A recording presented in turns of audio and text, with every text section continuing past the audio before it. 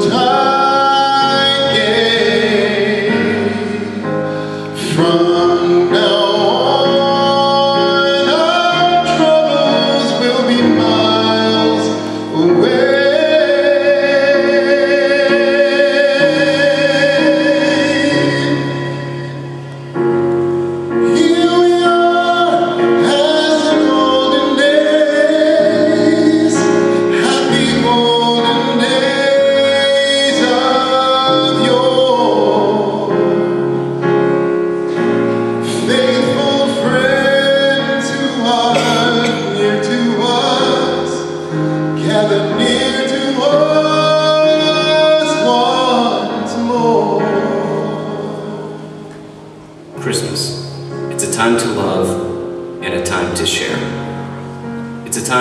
Sit around the table with those we care about the most.